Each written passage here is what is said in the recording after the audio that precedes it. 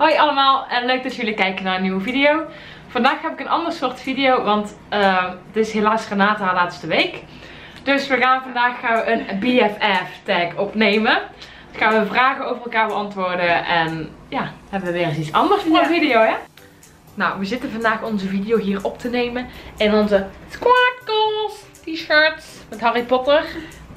Dus dit ben ik. Dit is eigenlijk Laura, de andere meisje. En dit is Renate. En we're the Squad Goals.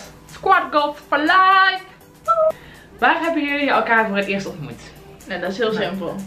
Hier in de webstore waar we dit nu ook opnemen. Ja, In New York. Ik kan me het nog herinneren, want ik was hier al een week en ik had geen vrienden. en toen kregen we een lijst doorgestuurd van uh, waar we ons visum hebben, hebben geregeld. Ja.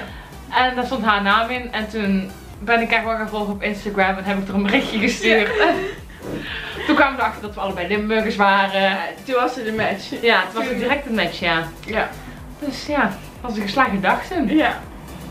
Um, wat is onze favoriete herinnering samen? Oei, dat vind ik wel een lastige. Ik denk, mijn favoriete herinnering... Ja, ik weet hem. Dat is heel makkelijk eigenlijk. Onze favoriete herinnering is zaterdagavond in Washington. Ja. Ja, dat klopt. Ja, dat was echt een, uh? Ja, een leuke avond, ja. Ja. Maar sowieso heel Washington vond ik leuk. Ja, het hele Washington weekend. Ja. En ik denk ook wel... Um, we zijn ook samen naar Top of the Rock geweest. Dat was ook heel Ja. leuk. Absoluut. En eigenlijk was gewoon de afgelopen drie maanden waren gewoon heel leuk. Eén feestje. Ja, één Oh, groot feestje. En afgelopen weekend met uitgaan, dat Ja. was natuurlijk ook wel een hoogtepunt. Ja, afgelopen vrijdag zijn we voor het eerst op stap geweest Ja. hier. Naar twee grote clubs. En dat was ook wel echt een hoogtepunt van... eh, ja, maar dat was meer een hoogtepunt Ja. van New York. Wel gezellig natuurlijk Ja, met Renate samen. Maar dat was ook echt een heel groot hoogtepunt van Ja. New York. zelf. absoluut.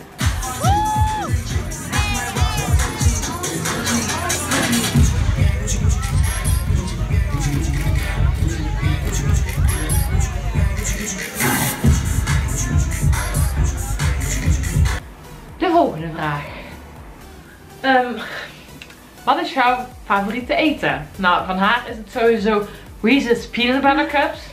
Hoewel dat ze er helemaal niet gekocht heeft, niet normaal. Ja. En ze blijft maar eten daarvan, ze blijft maar eten. En Ja. eh, Hershey's chocoladereep. Ja. En gewoon de peanut butter. Dat zijn de drie dingen die ze echt heel lekker Ja. vindt. Oh ik denk voor jou is het eh Two Bros Pizza, Ja. ja. Shake Shack ja. en... Oh, vegan mac and cheese. Oh ja. Ja. Dat is echt heel lekker. Maar voornamelijk de Two Bros pizza. Want het, is maar, het is maar 1 dollar voor één slice. En de slices zijn zo groot als mijn hoofd. Ja. Wanneer ben ik jarig? In mei. Ja. Ehm 15 mei? Ja. Wanneer ben ik En Renate is de 23ste jarig van deze maand. Maar dat weet ik alleen maar omdat het op de kalender staat. Oh, dus ik weet het wel, oprecht. Ja, ik wist het ook. Maar ik moest wel even spieken of het waar was dat het de 23ste was. 1-0 voor mij. Oké. Wat is je favoriete kleur? Van haar sowieso roze, Ja. obviously. Maar voor mij, weet je dat? Ehm ik denk of, is een gokje, of zo mooi blauw. Ja. Mooi blauw is niet lelijk. Ehm, of lila paars. Ehm, allebei wel een beetje denk ik. Ik heb niet echt een favoriete kleur. Maar ik vind aqua vind ik heel mooi en paars vind ik ook wel mooi. En sowieso alle pastelkleurtjes vind ik mooi. Maar ik heb geen favoriete kleur, nee. Dus als antwoord goedgekeurd. Ah ja, ik denk het wel. Volgende vraag. Wat is mijn favoriete kledingwinkel? Hier in New York? Of? Beide. Ik denk Topshop. De monkey. Die hebben ze niet in Amerika. Oh.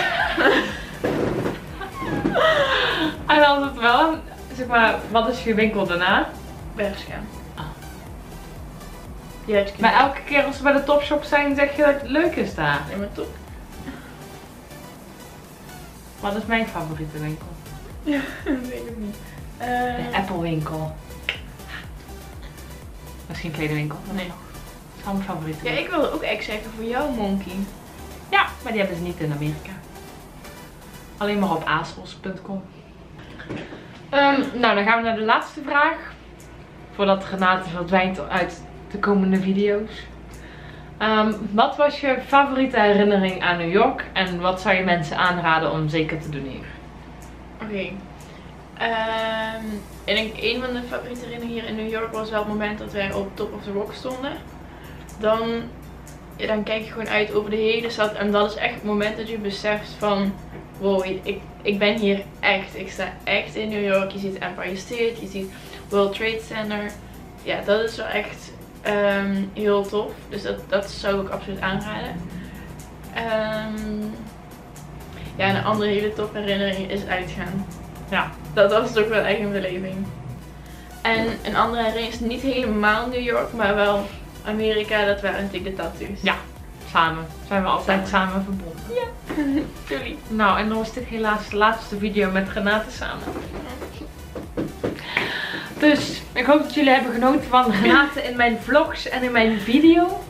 En ehm, ja, als ik terug ga naar Nederland met kerst, dan zullen jullie haar vast nog wel een keer zien voorbij komen. Ja.